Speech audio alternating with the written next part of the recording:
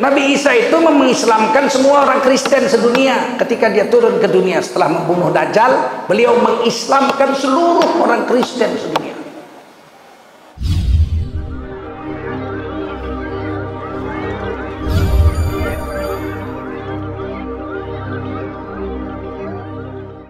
Assalamualaikum warahmatullahi wabarakatuh. Hamdan وشكرا لله وصلاة وسلاما على رسول الله وعلى آله وصحبه ومن والاه. اللهم صل على نبينا محمد وعلى آله وصحبه أجمعين.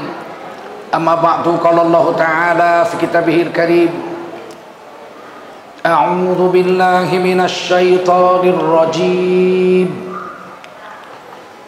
بسم الله الرحمن الرحيم.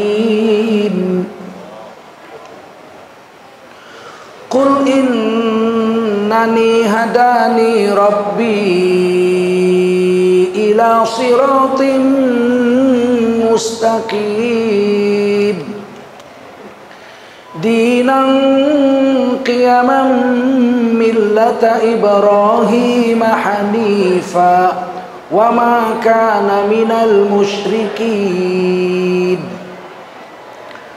قل إن صلاتي ونسكي ومحياي ومماتي لله رب العالمين. لا شريك له لا شريك له وبذلك أمرت وأنا أول المسلمين. قال رسول الله صلى الله عليه وسلم من خرج في طلب العلم fahuwa fi sabilillahi hatta yarji. Baginda Rasul bersabda siapa keluar untuk mendapatkan ilmu orang itu adalah orang yang berjihad fi sabilillah sampai dia kembali ke tempatnya. Mudah-mudahan kita semua mendapatkan pahala jihad dari Allah Subhanahu wa taala. Amin. Sadaqallahul azim. Wa sadaqa rasuluhun nabiyul karim. Wa nahnu ala dzalika minasy syahidin wasyakirin. Walhamdulillahi rabbil alamin. Para ulama, tuan-tuan guru yang dimuliakan Allah taala, para umara yang berhadir yang dimuliakan Allah SWT bahwa bapak ibu-ibu tokoh masyarakat, tokoh adat, tokoh pemuda hadirin wal hadirat yang dimuliakan Allah SWT wajiblah kita bersyukur pada Allah SWT. Salawat dan salam kita sampaikan untuk baginda Rasulullah Sallallahu Alaihi Wasallam. Yang berdiri-berdiri masuk aja masih ada tempat sini. Di sayap kanan sayap kiri sini masih ada. Ayo ayo masuk masuk. Tak baik di luar. Pahalanya pun kecil. Masuk masuk. Jangan ada tegak-tegak situ. Ke kemari kemari. Tumpah kemari ke, depan sini. Sayap kanan sayap kiri ini masih kosong moh moh jangan ada yang berdiri.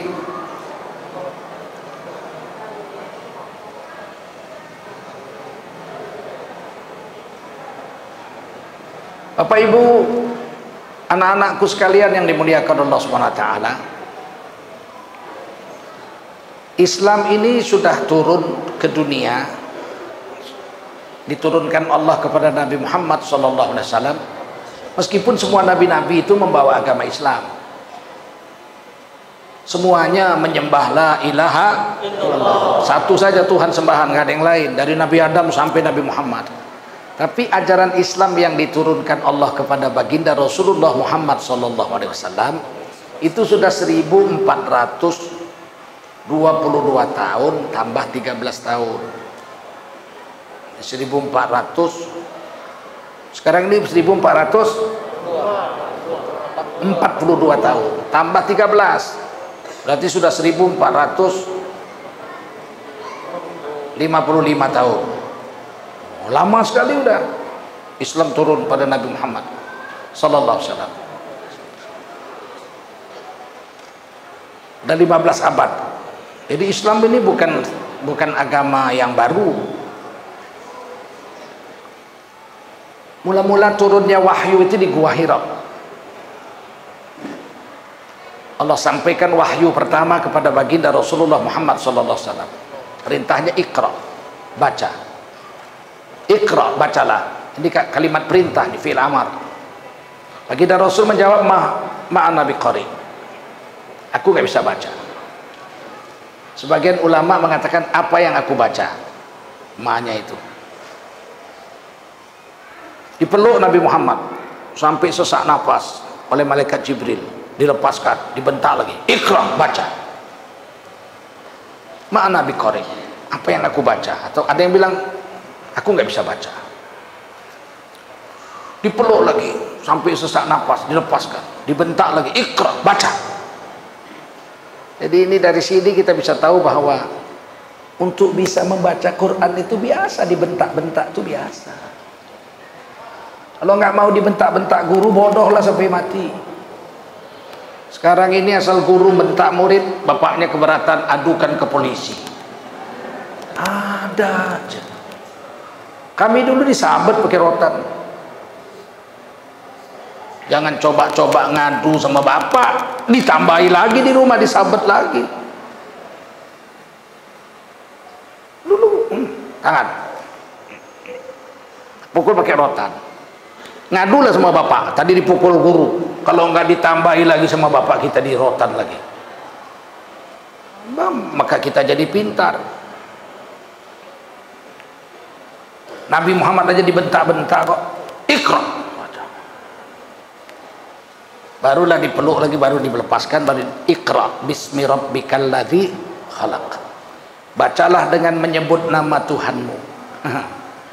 Jadi membaca itu dalam Islam disuruh membaca dimulai dengan bismillah Bismi Rabbik dengan menyebut nama Tuhan. Padahal ayat Bismillahirrahmanirrahim belum turun. Tapi perintah membaca Bismillah itu ayat pertama turun. Ayat Bismillahirrahmanirrahim turunnya itu di surah An-Naml, surahnya Nabi Sulaiman kepada Ratu Balkis. Makanya Bismillah itu di Quran ada 114. Padahal di surah At-Taubah nggak ada bismillah. Al-Fatihah ada bismillahirrahmanirrahim satu ayat pertama. Alhamdulillahirabbil alamin ayat kedua. Tapi alif lam mim bismillahirrahmanirrahim tidak nggak ada nggak ada ayat nol.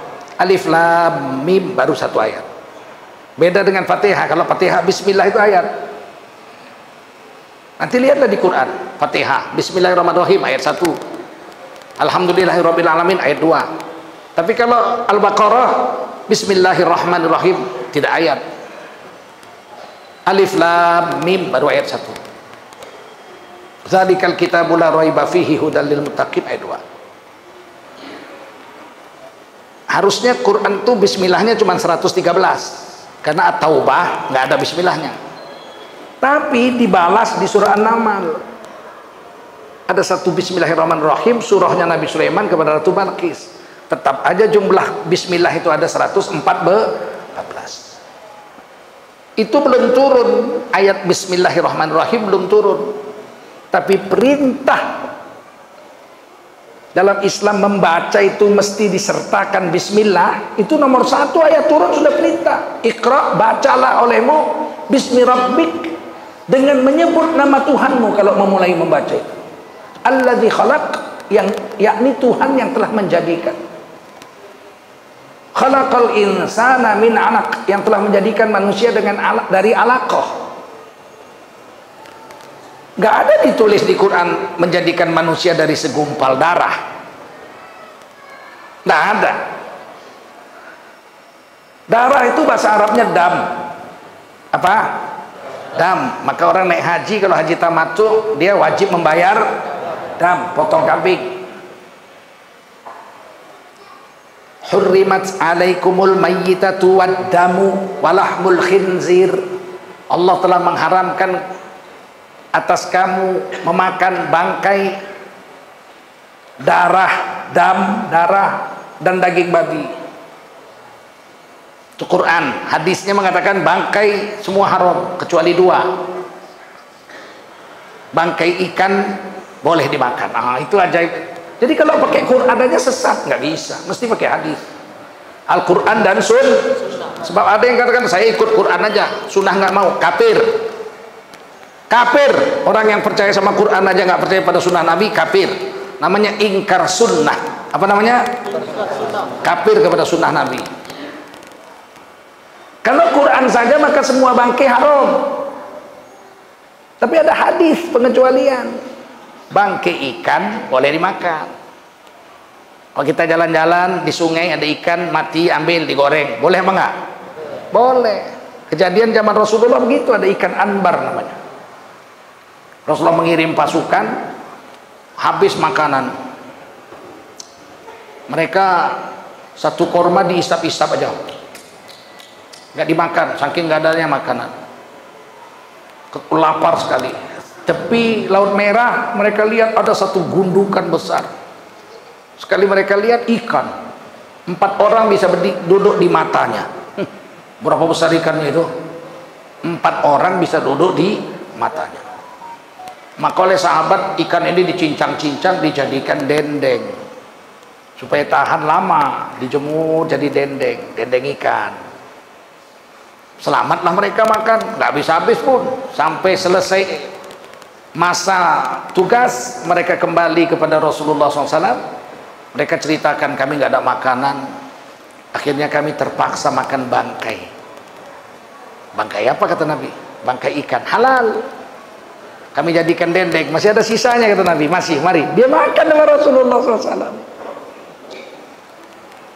baru bangkai yang kedua yang halal adalah bangkai belalang. Bangkai apa? Tapi jangkrik haram jangkrik haram belalang Nah, itu bedanya itu. Waktu saya pergi haji pertama kali tahun 96 saya jalan darat. Dari Medan naik diantar sepupu saya dua orang dengan satu orang asisten saya, Bapak Datu Ahmad. Naik mobil sampai ke Tanjung Balai Asahan. Di sana saya naik boot, boot 11 jam sampai ke Kelang. Tong tong tong tong tong tong tong. Saya bawa tas empat buah baju saja. Sampai Kelang saya naik kereta api ke Kuala Lumpur. Dari Kuala Lumpur naik bus sampai ke Bangkok. Dari Bangkok batasan Burma. Di Burma naik macam-macam sampai Bangladesh. Dari Bangladesh saya pernah naik kapal sungai pernah naik perahu pernah naik kereta api pernah naik truk. Pokoknya sampai India. Dari India macam-macam naik sampai Pakistan. Terus sampai ke Mekah 4 bulan setengah. Waktu saya sampai di Masjidil Haram sepi Masjidil Haram. Udah habis musim haji. Menunggu haji 97 jadi saya dapat visa setahun ibu saya naik kapal terbang 97 jadi harus saya tunggu. Ibu saya nggak ada mahramnya. Jadi saya jalan darat mencegatnya setahun sebelumnya. Apa yang terjadi? Waktu itu musim dingin. Di Masjidil Haram itu banyak sekali belalang. Sebesar terunjuk lebih panjangnya sejengkal. Panjangnya bisa 30 cm tapi sebesar jari aja gitu panjang. Terpijak-pijak orang uh ribuan belalang saya duduk gitu saya ambil yang dipijak orang mati Tangis. Ya Allah. Inilah bangkai yang boleh dimakan. Dibolehkan oleh Rasulullah sallallahu alaihi wasallam. Tangis ya. Allah, kalau sebesar ini enak juga lah digoreng ya enggak? sebesar itu pula 10 biji kenyang juga kan. Belalang sini segini-segini. Belalang sana besar-besar. Sekarang masih ada tapi sedikit. Saya setiap musim dingin umroh. Masih ada juga belalang tapi sedikit. Tidak sebanyak tahun 96 dulu oh banyak betul besar-besar. Bangkai dua yang boleh dimakan. Dam darah haram yang ketiga daging babi. Nggak ada dibilang Allah manusia berasal dari darah. Khalaqal insana min alaq Allah telah menjadikan manusia dari alaqah. Kalau kita lihat kamus bahasa Arab alaqah itu sesuatu yang lengket yang seperti lintah bentuknya. Lengketnya di dinding rahim. Dalam bahasa Arabnya dalam Quran disebut fi qararim makin lengket dalam dinding rahim. Yakhruju min bainis sulbi wat taraib terpancar dari bibit bapak kita dan terpancar dari bibit ibu kita. Bibit bapak kita itu sekali terpancar tuh paling sedikit satu juta setengah. Walaupun sesendok kecil satu juta setengah. Kromosom XX dan kromosom XY bentuknya seperti cebong kepalanya gitu terus ada ekornya. Kalau ekornya pendek namanya XX. Kalau ekornya panjang namanya XY. XX itu kalau sampai ke rahim ibu jumpa dengan ovum jadilah anak perempuan. Kalau XY sampai ke dinding rahim ibu jumpa dengan ovum jadilah dia namanya anak laki-laki. Rebutan itu satu juta setengah itu berebut berenang-renang. Biasanya yang menang yang ekornya pendek karena kan beban bebannya lebih ringan larinya lebih cepat gitu. Makanya kemungkinan lahir kata Nabi anak perempuan lebih banyak dari anak laki-laki. Nanti di akhir zaman laki-laki dengan perempuan di akhir zaman satu banding 50 kata Rasulullah. Satu laki-laki 50 perempuan.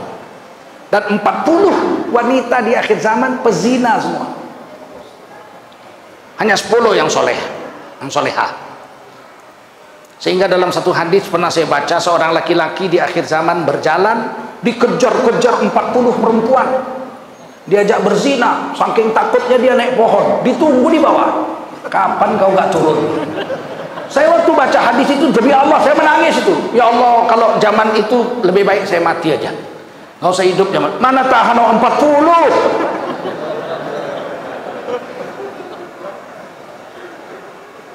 Sekarang belum. Sekarang ini statistik dunia 7,8 miliar manusia lebih banyak laki-laki 100 juta dari perempuan. Jadi masih banyak laki-laki sekarang. Lebih banyak 100 juta laki-laki dibanding perempuan.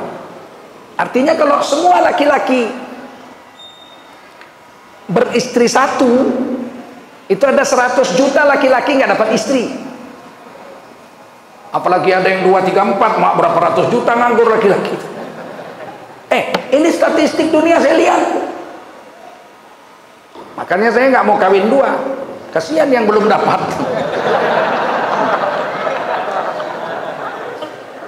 Tapi nanti di akhir zaman satu laki-laki 50 perempuan. Dan di dalam neraka kata Nabi satu laki-laki masuk neraka 50 perempuan masuk neraka. Ngerinya itu yang satu juta setengah itu lomba-lomba melewati dinding rahim. Liang rahim itu cuma sejengkal aja. Cuma sejengkal aja liang itu. Tapi asam. Sehingga berjuta-juta kromosom XX itu mati di jalan. Yang lolos dari dinding rahim itu liang rahim ke dinding liang itu paling-paling 10 atau 30 kromosom. Itu ber kumpul-kumpul macam cebong gitu. Mau masuk ke dalam rahim dia membukanya itu sepersekian ribu detik aja. Sehingga yang lolos hanya satu. Kadang-kadang lolos dua jadilah anak itu kembar dua. Paling banyak enam kembar enam. Coba kalau lolos lima puluh. Kalah anak kucing. Ini kuasa Allah. Allah Subhanahu wa taala yang membuatnya.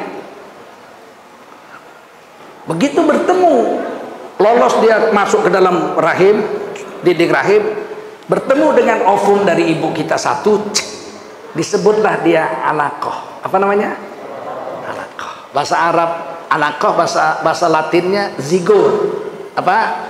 Zigot. Itulah yang lengket di dinding rahim itu. Fi makin. Kokoh sekali terus berdenyut tut tut tut tut tut membesar membesar membesar membesar nggak ada rohnya nggak ada roh. Jadi bukan terbuat dari darah. Siapa bilang darah?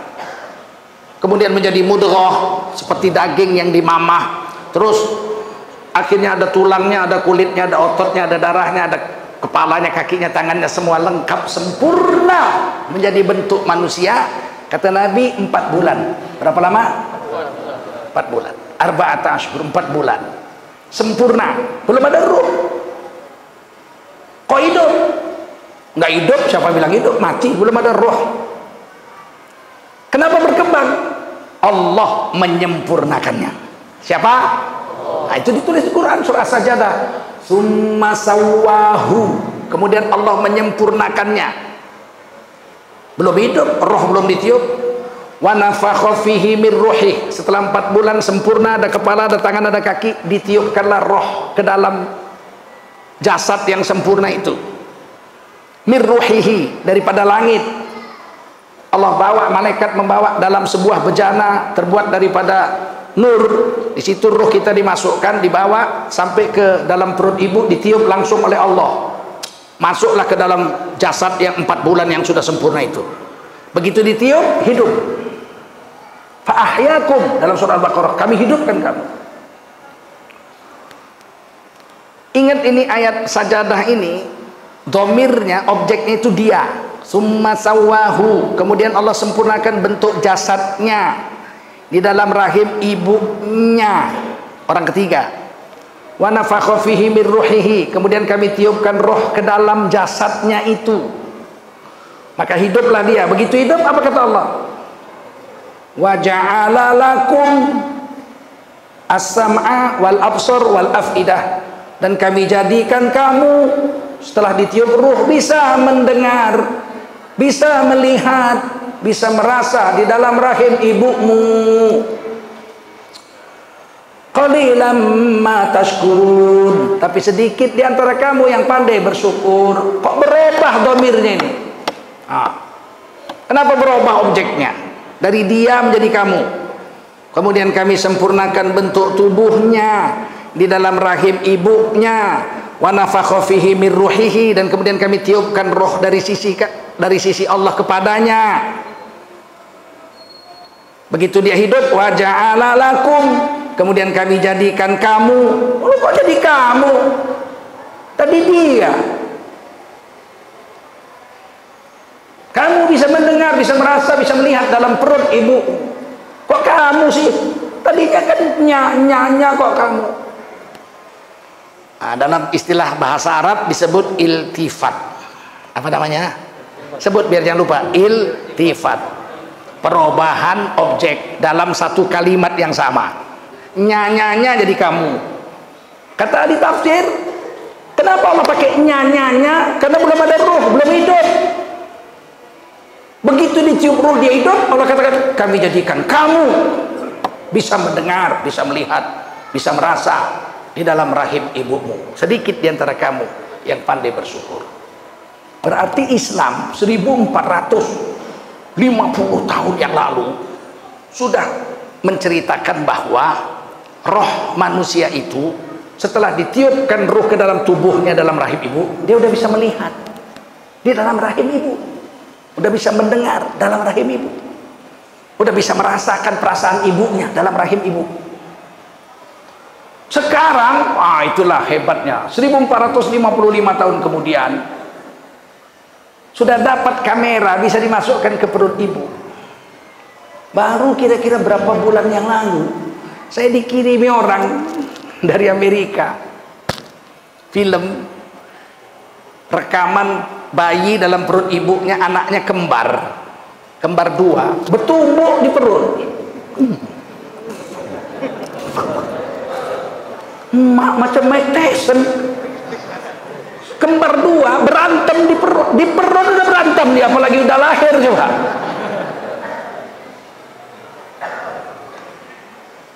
subhanallah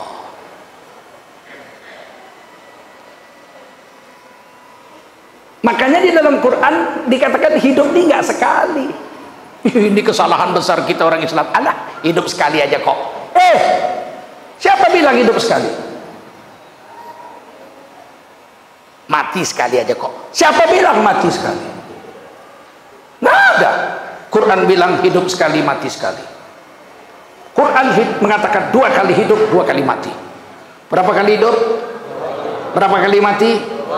begitu lihat surah Al-Baqarah Kaifa takfuruna billahi wa kuntum amwata Kenapakah kamu mengkafiri Allah Padahal kamu sebelumnya dalam keadaan mati. Waktu bentuk zigot masih mati. Udah sempurna pun badan itu 4 bulan belum hidup masih ma mati. Fa'ahyakum Serentak dengan ditiupkan roh. Kami hidupkan kamu. Dari mana ceritanya serentak dengan ditiupkan roh? Dari fa-nya itu atof fa dalam bahasa Arab artinya kemudian. Summa dalam bahasa Arab summa juga artinya kemudian. Itulah miskinnya bahasa Indonesia itu. Fa kemudian. Summa kemudian. Tapi dalam bahasa Arab beda jauh. Artinya kalau fa itu kemudian tanpa pakai waktu kalaupun pakai waktu pendek sekali nggak sampai sedetik. Nah, contohnya contoh fa yang nggak pakai waktu itu surah yasin. Innama amruhu idza arada syai'an ayyakula lahu kun fa yakun. Sesungguhnya Allah kalau ingin menjadikan sesuatu Allah cukup memerintahkan jadi maka serentak dengan perintah Allah jadi jadi. Jadi nggak nunggu nunggu kalau Allah bilang jadi terus nunggu berapa detik. Nah itu simsalabim namanya. Kalau Allah perintah jadi serentak dengan perintah Allah jadi maka kun fa ya. Allah pakai fa. Kalau dia pakai waktu Allah pakai summa Thumma stawa ila sama'i wa. Kemudian Allah memerintah kepada langit. Ketika itu langit masih berbentuk asap. Lama, miliaran tahun. Seluruh alam jagat raya ini berbentuk gas. Kemudian diperintah Allah berputar, berputar, berputar, berputar, entah berapa miliar tahun menjadi satu benda yang sangat besar sekali. Nggak tahu ukurannya kecuali Allah yang tahu. Kemudian Allah ledakkan. Benda besar itu Allah ledakkan. Pakai waktu enggak. Sekali satu detik itu langsung meledak. Jadilah bintang-bintang bulan-bulan planet-planet ini semua.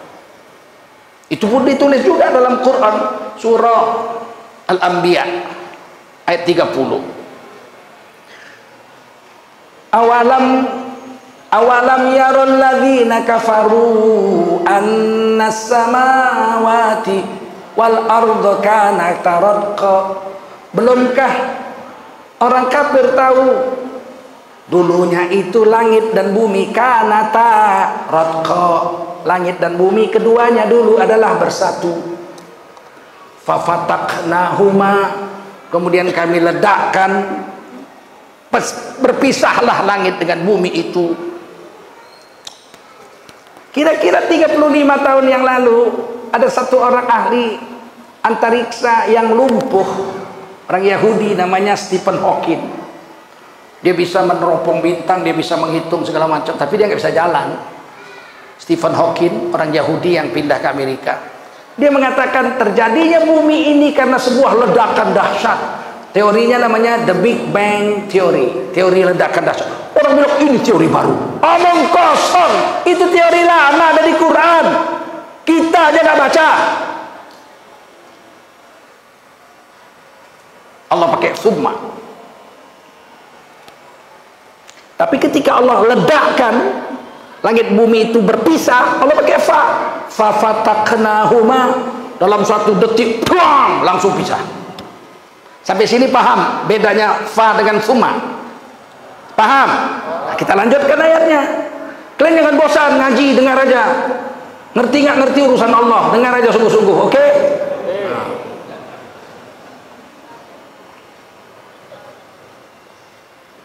Kaifa takfuruna billahi wa kuntum amwata?